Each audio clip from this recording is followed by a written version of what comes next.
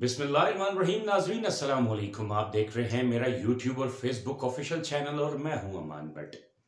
आज के व्लॉग में बात की जाएगी कि पाकिस्तान तहरीक इंसाफ को इंट्रा पार्टी इलेक्शंस की इजाज़त मिल गई। मेरे नाजरीन को याद होगा, ये वही इंट्रा पार्टी इलेक्शंस हैं जिसमें पाकिस्तान तहरीक इंसाफ का बल्ला भी इन इंतबात की वजह से छीन लिया गया था।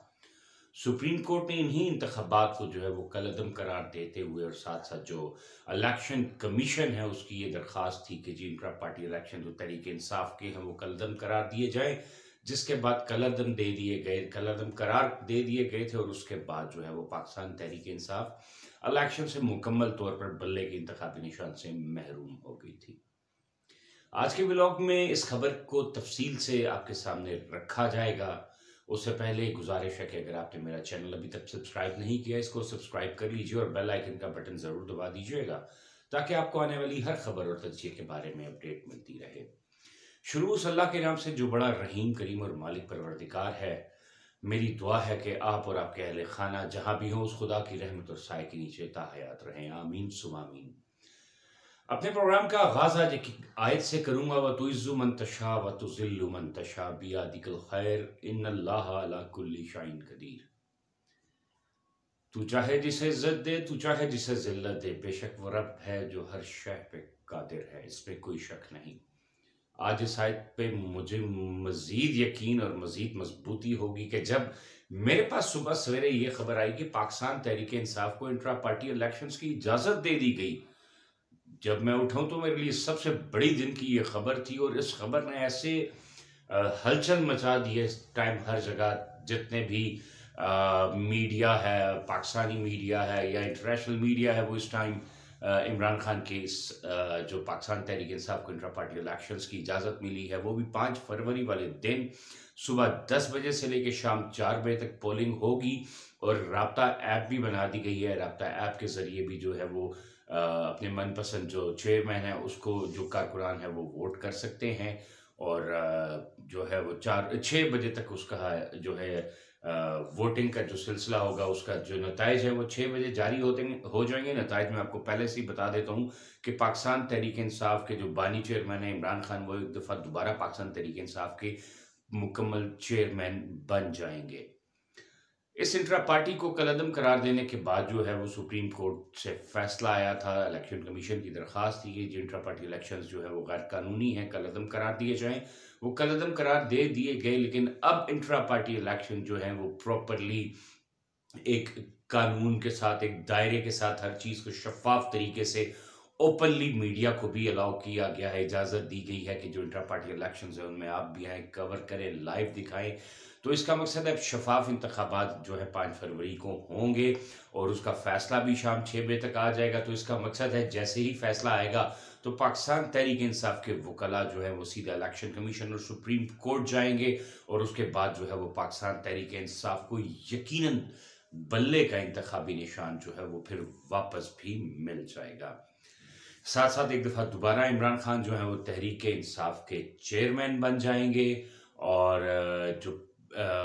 हालात हैं, जो इस टाइम ये एकदम फैसला आना कि Pakistan Tehreek Insaf intra party election अपने करवाए तो ये एक बहुत बड़ा इलेक्शन से आठ छः सात रोज़ कबल पहले ही बहुत बड़ा फैसला है। इस पीर वाले दिन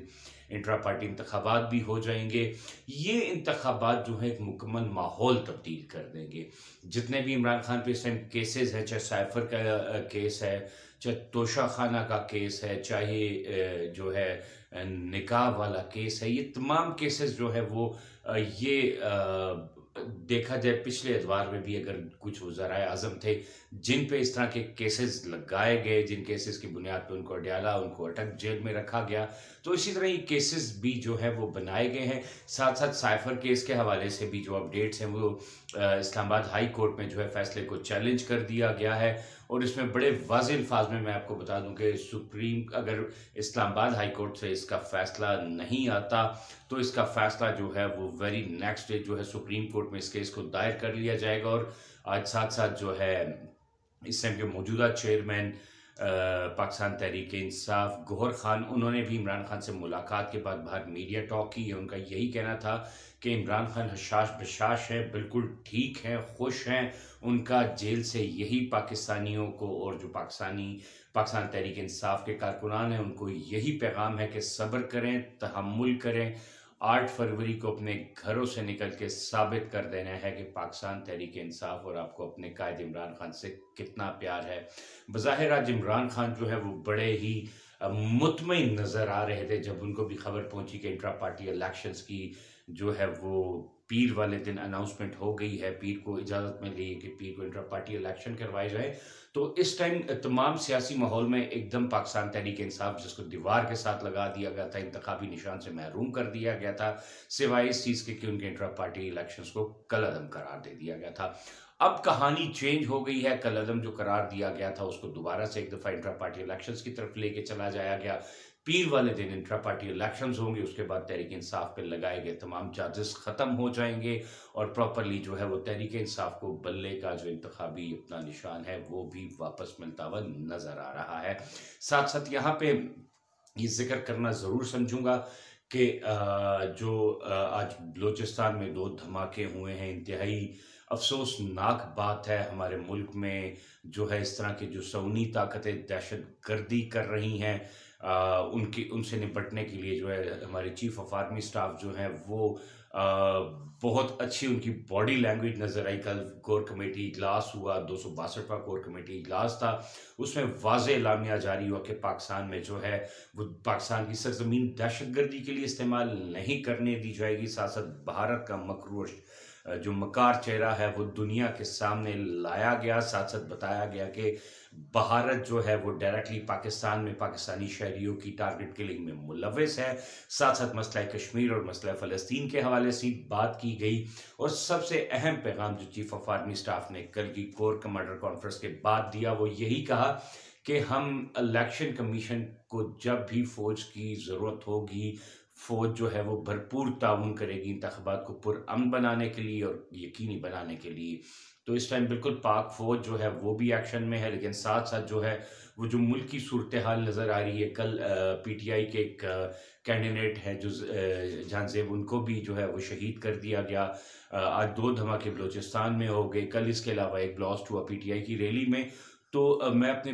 पिछले व्लॉग से काफ़ी टाइम से यही बात कहता आ रहा हूँ कि मुझे आठ फरवरी को आम इंतबात होते नज़र नहीं आ रहे। क्योंकि इस टाइम जो माहौल बना हुआ है वो यकीनन आम इंतबात के लिए मौजू नहीं है, मौसर नहीं है और साथ साथ इस टाइम तमाम जितने भी कानून नाफिज करने वाले इदारे हैं, उनके लिए इस टाइम ये कड़ा चैलेंज है कि वो आम इंतबात के आठ फरवरी को अगर मुनद होते हैं तो क्या उनको भरपूर तरीके से हिफाजती इंतज़ाम उनके मुकम्मल हैं, क्या आखिरकार वो इंतज़ाम